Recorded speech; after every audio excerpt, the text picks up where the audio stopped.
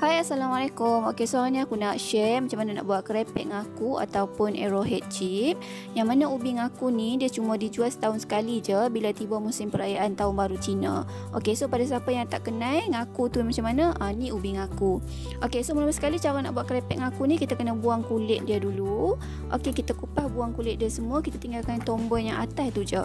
Okay lepas tu kita rendam sekejap kat dalam air cuci bersih dan kita biarkan sekejap kat dalam air Okey, lepas tu kita panaskan minyak dan kita sagatlah uh, ubi ngaku tu kat dalam minyak yang panas.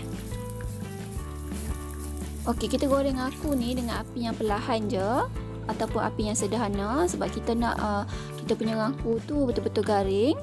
Okey, so sambil-sambil uh, kita goreng tu kita kena kacau-kacaukan juga supaya dia tak melekat. Okey, so bila dia dah tukar color, dia dah garing, kita angkat dan kita teruskan minyak. Okey, so dah siap kita punya kerepek ngaku. Welcome back to my channel Cik Dadida. Okay, so tadi hampa dah tengok kan macam mana cara nak buat kerepek ngaku ataupun bahasa orang putih dia arrowhead. Okay, so mungkin ada yang dah pernah rasa, dah pernah makan, dah tahu rasa macam mana rasa kerepek ngaku ni. Okay, so tadi aku buat uh, kerepek ngaku ni. Setengah kilo ubi ngaku tu dapat lebih kurang satu balang kecil ni. Okay, so jom kita start makan. Dan aku share dengan hampa lah. Siapa yang tak pernah makan krepek dengan aku tu kan, aku share dengan hampa macam mana rasa dia. Bismillahirrahmanirrahim.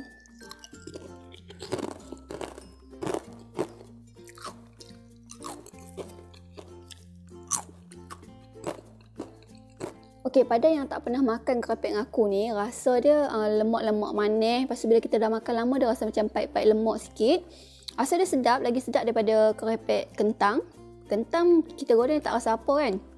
Tapi kerepek aku ni kita goreng tak letak apa-apa perasa pun dia dah memang ada perasa dia tersendiri.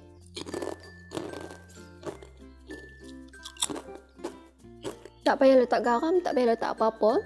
Rasa original daripada ubi ngaku tu pun dah sedap dah. Sendiri aku memang suka kerepek ngaku ni. Sebab setiap kali kalau tahun baru Cina, kalau aku pergi pasar raya, kalau nampak ubi ngaku ni, memang aku akan beli.